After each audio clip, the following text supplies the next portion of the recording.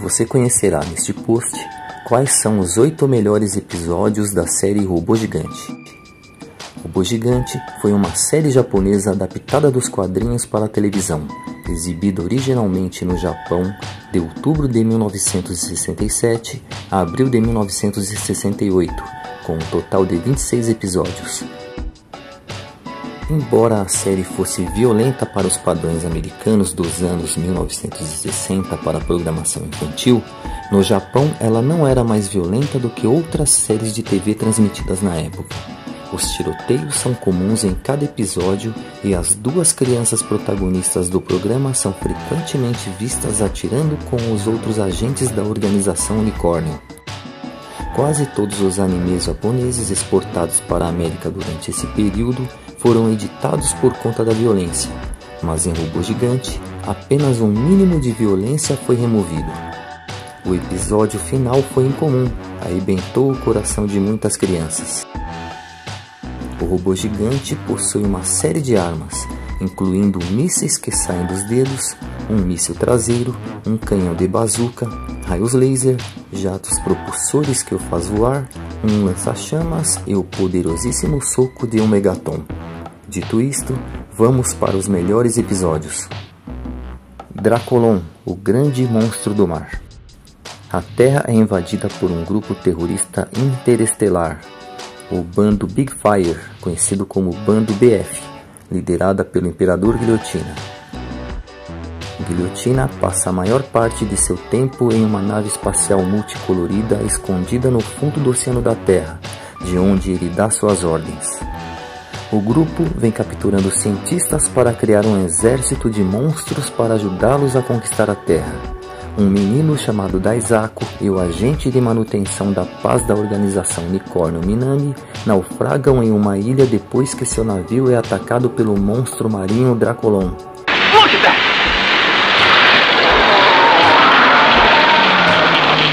E subsequentemente capturado pelo bando BF. Eles fogem para um elevador que leva a um complexo onde o robô gigante de forma faraônica está sendo construído por um cientista prisioneiro.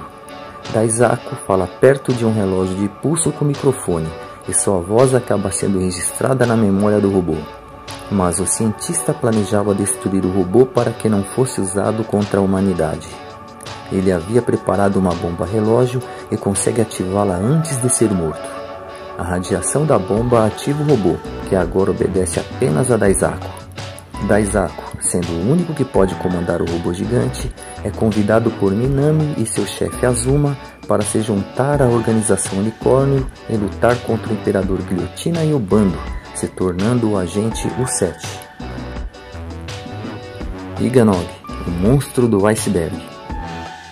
Daisako e Minami suspeitam que uma vila estranha situada no coração dos Alpes japoneses é uma base secreta do bando BF. Eles se aproximam da casa para obter algumas provas, quando os homens na casa os notam e procuram por eles.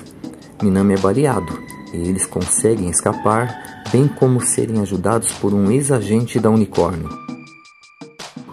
Consequentemente, o robô gigante vai para o embate contra um inimigo que aparentemente é invencível nas condições climáticas de baixíssima temperatura. Dr. Engali, mestre do mal. Daisako, efetivado membro da organização Unicórnio, é quem controla o colossal robô gigante com o microfone controlador instalado no relógio de pulso e que reconhece apenas sua voz. Um dia, ele recebe um pacote de presente de aniversário, supostamente enviado por seu pai. É um kit para construir um garoto robô sósia, com o plano de controlar o robô gigante e que aparentemente se torna eficiente, pois ele toma o relógio microfone controlador do robô de Daisako. A organização Unicórnio parte com todas as suas forças para combater o robô destruidor, agora controlado pelo Dr. Engali e pelo robô sósia de Daisako.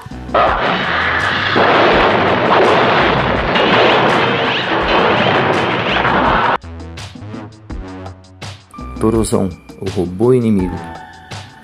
Começando com a filial da Suíça, as filiais da organização Unicórnio são misteriosamente destruídas, uma após a outra. Roma, Cairo, Bombaim, Singapura, Hong Kong e Taipei. Não é difícil adivinhar que Tóquio será a próxima. Um robô colossal é o desafio do robô gigante nesse episódio.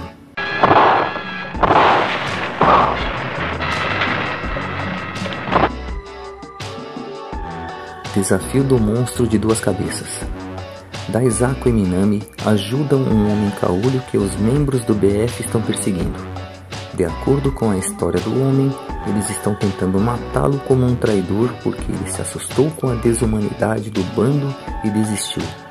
Tudo não passou de uma armadilha. O robô gigante é chamado para enfrentar um terrível monstro em um dos esconderijos nas montanhas do bando BF.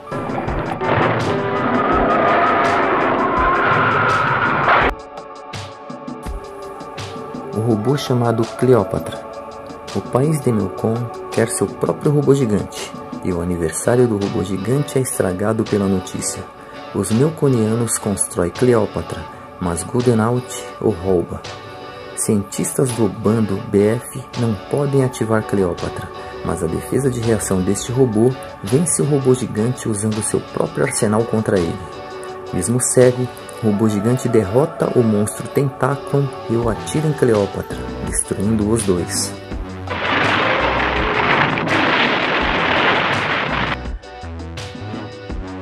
Dragon, o monstro ninja. Um monstro chamado Dragon engole um avião a jato da comunidade da Sordia quando está voando, e um submarino atômico da República de Furenkov quando está sob o mar.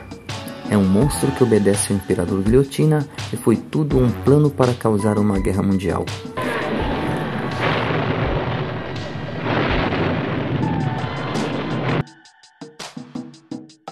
O fim do Imperador Guilhotina.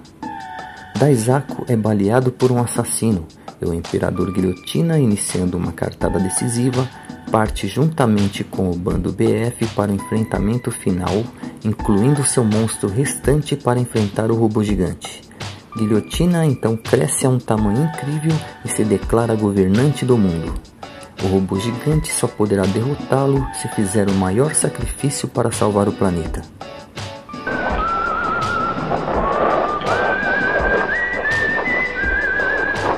E estes foram os melhores episódios de Robô Gigante. Até breve.